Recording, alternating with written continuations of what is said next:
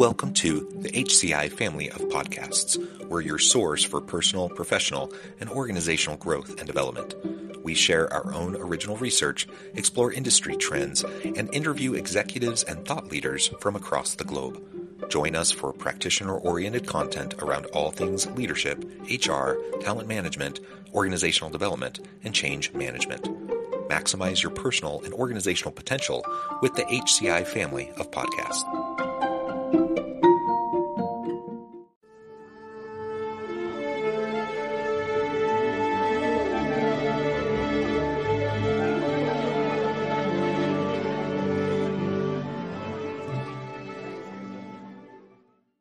Dr. Marie Helene Pelletier, welcome to the conversation today. Thank you so much, Jonathan.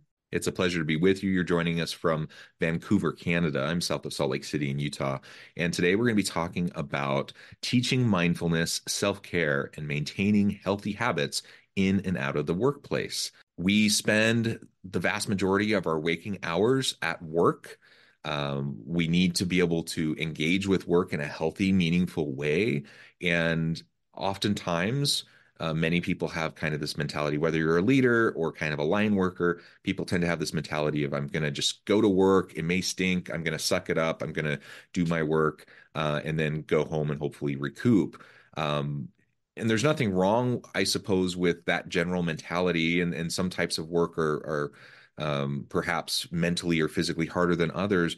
But generally speaking, you know, we need to to recognize the need for self care. We need to understand that work doesn't necessarily have to be a slog.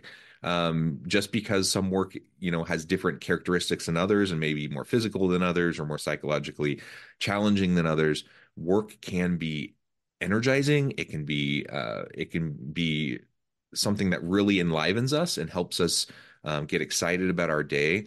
And so I like your approach towards this mindfulness conversation and healthy habits that can help us have a better, more meaningful, more productive work life, and certainly can help us have a better uh, personal life with our families and our communities, uh, and to just be happier, uh, healthier, and uh, do better things and more cool things, which I think is what we all want to do. As we get started, I wanted to share Marie's bio with everybody. Marie Helene Pelletier is a practicing resilience and anxiety psychologist and experienced senior leader with over 20 years of experience in clinical counseling and workplace psychology by working with various leaders and professionals. She is a virtual and in person keynote speaker and conducts workshops to guide successful professionals to achieve health and happiness through resiliency practice. I love all of that. And as you can tell from that bio, that's really where the focus of our conversation will be today. Uh, anything else that you would like to highlight, MH, today as we dive on into the conversation? Well, you've you've um, highlighted many key important points that uh, we'll talk about the the importance of um, really front loading in a number of ways on our resilience and part of my background is both coming from psychology and business and that's mm-hmm. a lot of what i do in my work bringing the two together so that we become even more strategic about our uh, about our resilience.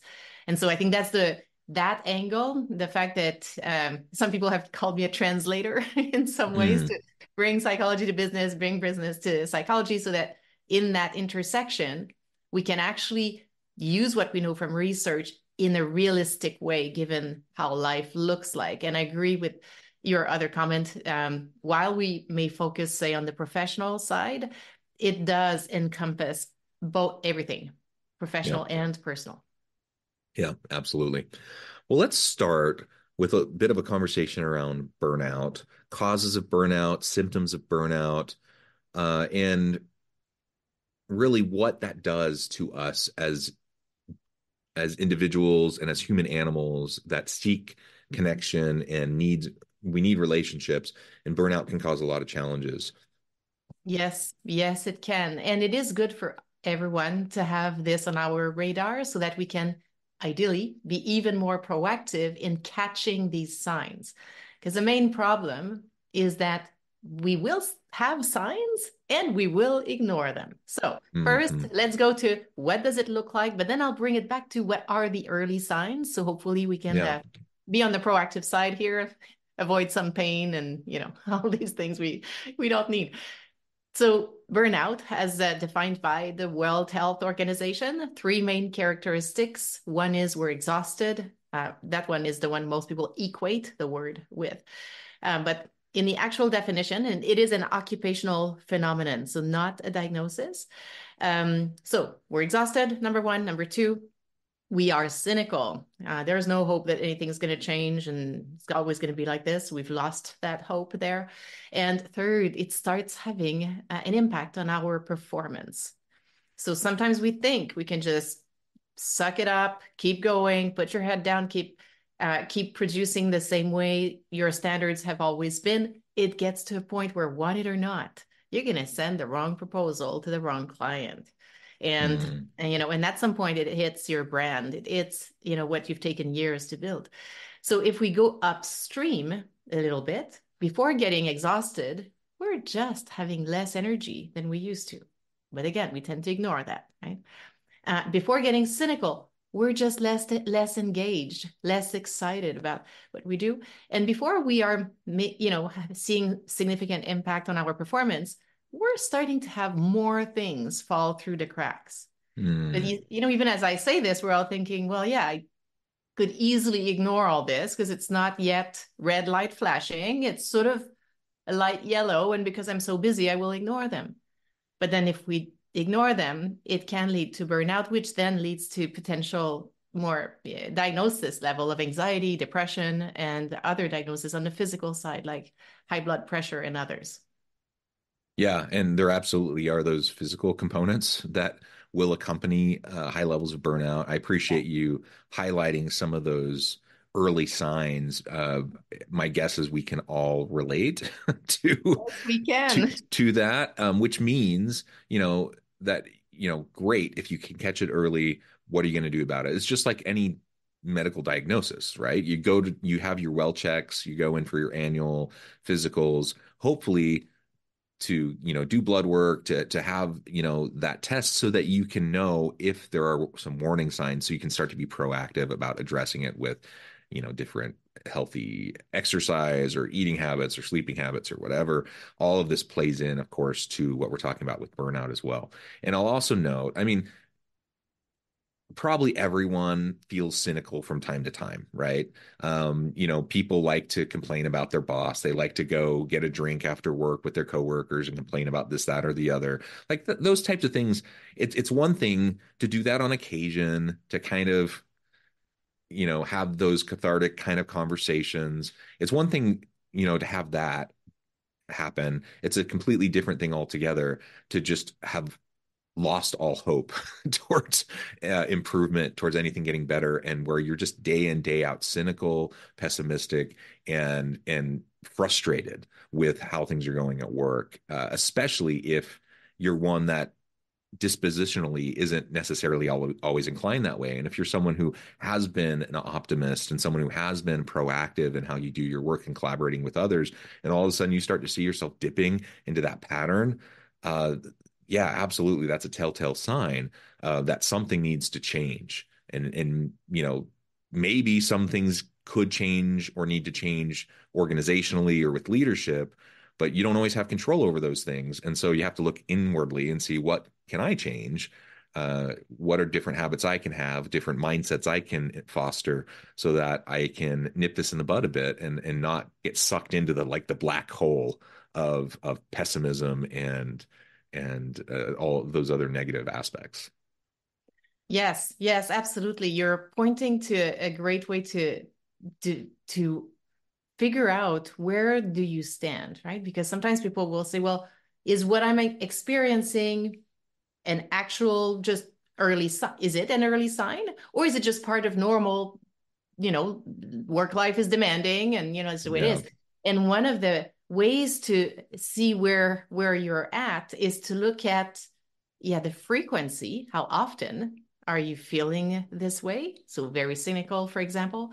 Um, and how how severe it is so is it a little oh i'm a bit annoyed or is it i can't stand it anymore so if you're on the i can't stand it mm-hmm. anymore mm-hmm. and it's happening every day now we've got the frequency and the severity so it is telling us that you're moving on that slide down towards burnout Mm-hmm. But then the other thing I would say is as early as we are, even when it's, I actually would say it's even better if we're not yet at all on that yeah. sliding path, the more we can take a moment, and it does not take a long moment, but to take mm-hmm. a moment to actually be strategic about how we're going to build our resilience and protect it if we're at a very good place right now, then it literally becomes a competitive advantage. In addition to allowing us to bring our best in both professional and personal life, which the psychologist side of me is loving that.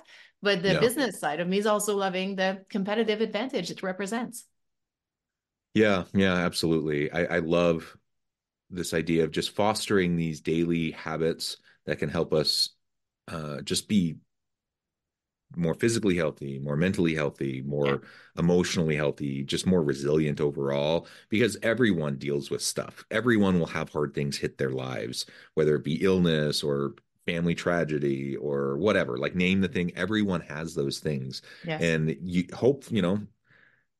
Hopefully, you're not dealing with anything like that right now. But if you're not, chances are you will at some point, right? And so just proactively developing those good habits is really going to go a long way for when those inevitable types of challenges do arise you know again whether it be a career challenge a, a relationship challenge whatever uh, and so let's talk about what some of those those daily habits those consistent habits are that we can start to foster and develop so that we can be you know more emotionally healthy more healthy relationships in our lives so we can be more uh, physically healthy. And and of course all of these mesh together right?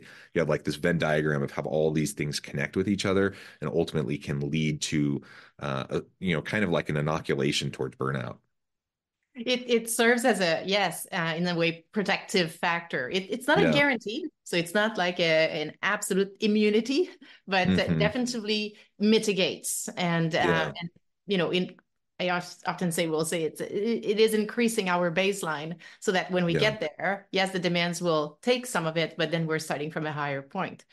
And uh, and you're right, we want to have clarity on what these actions are. But you know one thing, uh, Jonathan, I'm I'm hearing a lot is that more and more, especially now having gone through the pandemic, we've mm-hmm. heard about some of these things.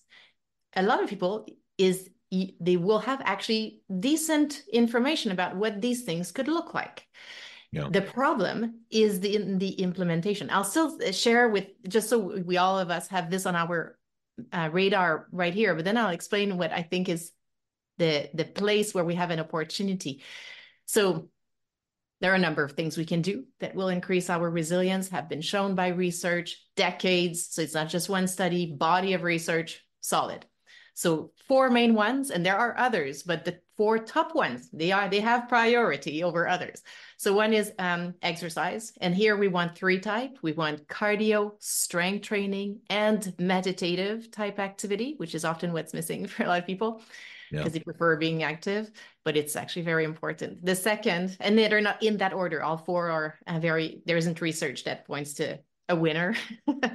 um, so exercise, uh, nutrition extremely important for our psychological health, for our resilience. We're hearing more and more about even the gut health, that kind of thing. Mm-hmm. very established. Mediterranean um, diet type research really points to significant changes on our resilience, um, our sleep, and then spending time with people we enjoy spending time with. So our relationships. Now, there are others volunteer work, time in nature, and um, doing artistic activities. There are others, but these four are at the top. Now, here's the thing most people, if we asked 100 people on the street, they would probably come up with most of this, if not all of this. And they would wish they are incorporating. The missing point is landing this or as much of this as possible in our already full and at times overflowing lives. And that's where bringing strategy from business makes a difference. I'm happy to explain more, but I would say that's that's where we've got this opportunity. Yeah, I absolutely agree. Uh, and the overflowing life, as you just mm-hmm. framed it, is mm-hmm. absolutely one of the biggest challenges, think, um, to people doing what yeah, I think most people do have a general sense of what they need to be doing. Everyone yeah. knows that we should be eating healthy uh, that we should be exercising, that we should try to get good sleep. But how many adults are doing that? um, they exist. They actually exist, Jonathan. They, they do. a small portion. Yes, they do, and and lots of good aspirations too. By the way, you know, but yeah. there's a reason why you know at the beginning January first, so many people have these New Year's resolutions because they know they know these things are important. They want to do them. They just lack you know the the the willpower perhaps or the structure to sustain it uh, and pretty soon within a couple of weeks you know those those aspirational goals kind of get set by the wayside. You're busy your life is overflowing and you're just like ah i'll do it sometime. I'll do it sometime in the future. And the problem is that future date never really comes if you don't just decide to just do it um, and then try to carve out time in your schedule and and you know create those habits where it just becomes second nature for you to just do it every day uh, or consistently you know every week. Uh, that that's what's so important. Everyone's busy. Uh, you know I, I don't talk to many adults who who say they have so much extra free time on their hands. Most people are overwhelmed they're busy they're juggling a thousand things they're trying to do the best they can um, and and I I see people where they're at and I honor people for where they're at but also this is really important and you can take these positive steps you know start where you're at move forward uh, create some of these habits it's going to make a world of difference. And and all of a sudden it, it it like you think about your potential and how much you can accomplish in a day and your life is overflowing right? But you start to do some of these things all of a sudden your like bubble of potential grows. So your capacity increases and all of a sudden you're overflowing is contained like you you don't you can actually end up doing more because you're doing these things uh, that help you stay grounded and more resilient and responsive to the challenges that you face. Yes yes and the uh and the one of the ways that i i got there in how so how right? So how do we bring these yes these habits we would want to have to see the results that you're describing right there. And then the analogy that came in my work in my speaking and in my executive coaching work was because i had people come to me say exactly this right? i know what i should have. I know it would benefit me. I was able to do this like 10 years 20 years ago but right now it just seems absolutely po- impossible. What's my problem? And and then you know they're like wait i am resilient. That's who i am and resilience is actually not a personality trait, it's something that evolves over time. So then I would say to them, okay, in business here, if we have a fantastic, good idea for a next product or a next service, do we have just a great idea and go implement? Or do we have this great idea and then we look at who else is offering this? How much are they charging for it? Which forces in the future might impact it? We do all this. We look mm-hmm. at the context. And then we're going to proceed with this. Same here. We have the goal, let's say, of nourishing and increasing our resilience. It's not enough to just say, okay, go, because life is overflowing right here. What we need is a strategy, the same way we do in business. And and as we apply some of the key ways in which we would build a strategy in business, like identifying which values we bring as our particular organization, doing SWOT analysis, looking at the market, here we can do equivalents of all this. Doesn't take long, but is just as powerful in creating an actual customized resilience strategic plan that is doable. And that's what people tell me it is it is absolutely uh, doable and it has the impacts you're describing because if you do it it will be customized also to this moment in time in your mm. life. And once it's implemented after a few months you'll be ready to evolve it the same way we evolve strategy in our business.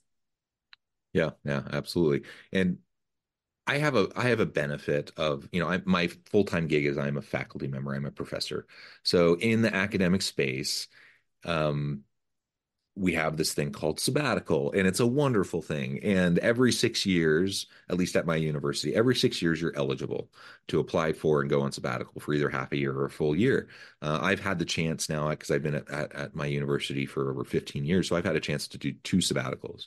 Um, and yeah you know you get I'm I'm a fairly deeply engaged kind of professor. Like I, I'm really heavily involved in a lot of things, um, far more things than I'm required to be involved in, doing things with students and places around campus and all these sorts of things, right?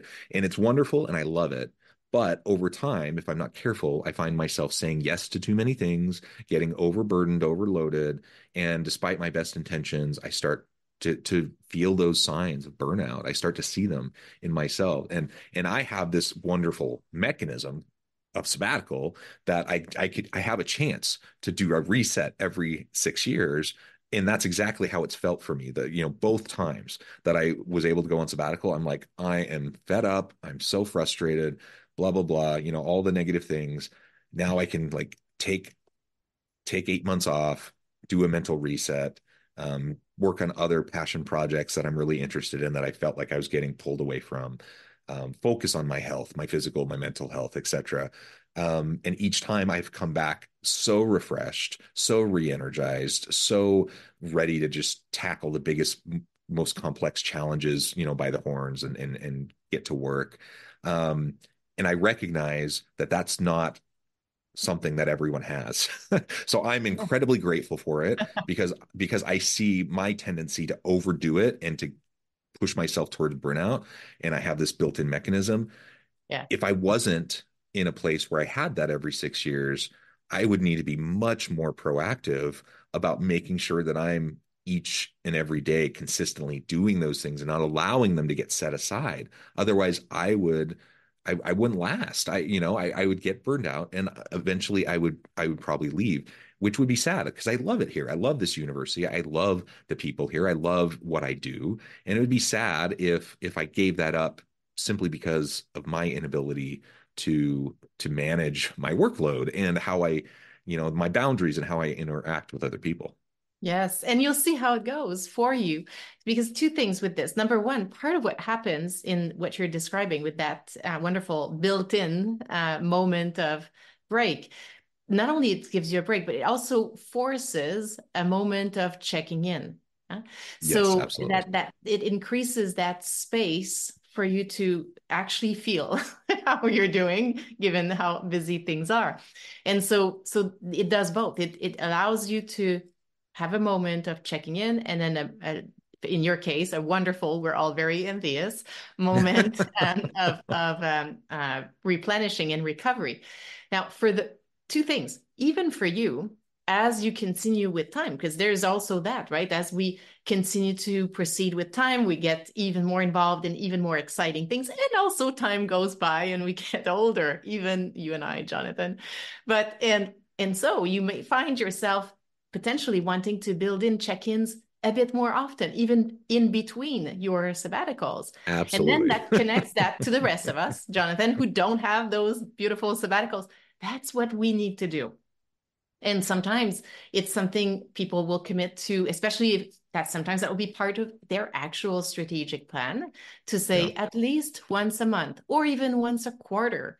I will take a moment to just reflect back on, okay, what's my energy levels how am i doing given all my demands and and my sources of supply can i still proceed with what i've got planned for the next few, four months for example and go from there and so we want to do frequent check-ins. If we think we're not going to do them that's in part sometimes how people will use supports in their network. Do you have a peer that you can do a regular check-in with? Do you have a mentor? Um, do you have an executive coach that you do at least a once a quarter or once a year check in with? So make sure they help you take that one hour which even in the most overflowing schedule if it's you know mm-hmm. planned a few months in advance you can get to it so that you can check in. Because without that check in all of us highly whatever capable performing enjoying these massive opportunities these challenges these these wonderful uh, uh, puzzles that we get to solve we're going to be we need to protect ourselves from ourselves and our tendency to say yes and say all this and we're at risk of of uh, just seeing our resilience decrease to a point where none of it sounds like fun but if we've been proactive then we can keep this yes I, absolutely and i fully acknowledge how lucky i am to have these built-in sabbaticals right. and how much i really need I, I use those as a fallback and, a, and as a crutch. Uh, and I'm I'm fortunate to have it, but absolutely, I should be more proactive about just doing things consistently over time. So I never get to that point where I'm like desperate for my next sabbatical in order to do go, a reset. Exactly. Then you can get to your sabbatical with even more energy, more skiing exactly. for you, Jonathan. And you know. absolutely. Well, MH, this has just been a great conversation. I know at the time I need to let you go here in just a minute, but before we wrap things up for today, I just wanted to give you a chance to share with the audience how they can connect with you and find out more about your work, and then give us the final word on the topic for today. Yes. So connecting with me, well, there's always good old LinkedIn, always works. You can find me there. Um, website, theresilienceplan.com. It will lead to everything that I do, including uh, that book that just came out uh, in February. And uh, I would say, yes, we need to think strategically, speak strategically, and take strategic action to support our resilience. And and as much as in the workplace, everything's connected. It is a system. Individuals, teams, organization all work together to create cultures, contexts um, that we need to pay attention to. And one of those key aspects is us as individuals. It will have an impact on others. So, and we have control over that. So let's be strategic about our resilience. Wonderful. Thank you so much. It's been a pleasure. I encourage the audience to reach out, get connected, find out more about what MH can do for you. And as always, I hope everyone can stay healthy and safe, that you can find meaning and purpose at work each and every day. And I hope you all have a great week.